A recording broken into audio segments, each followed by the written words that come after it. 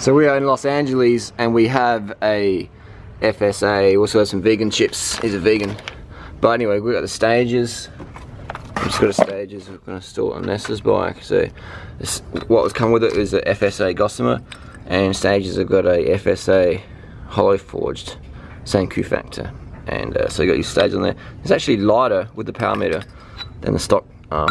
Not that makes so much difference, but yeah. So all you have to do to remove a uh, Mega EXO is just stick your 8mm Allen key in there and undo it. This is like really, this is probably the easiest cranks to remove, the FSA uh, Mega EXO. Put an Allen key, so, so only tool you need is an 8mm. Put it in there, turn it around, undo it, pop it on. Very, very quick. Let's get it on there, eh? So, and the wave washer as well. Wave washer can go on any, any uh, there's no side to that.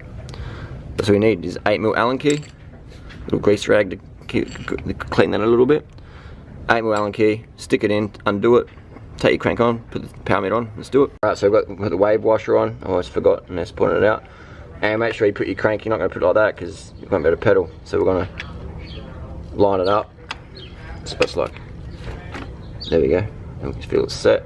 And then just get the Allen key in there, and just tighten him up. You put a bit of grease in there, but we don't have any, but that's alright. And there's that straight, yep, that's straight. then we're just going to tighten him up until that wave washer compresses right in. We've got maybe one mil, one and a half mil gap. And that's how easy it is to install your stages power meter on the FSA Mega EXO. Get some steroids for this one. Might go to the chemist get some more roids. Get some gains. Oops, knocking the camera. Oh, fucking stuff.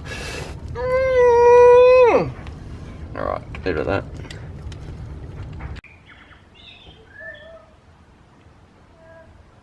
Go vegan!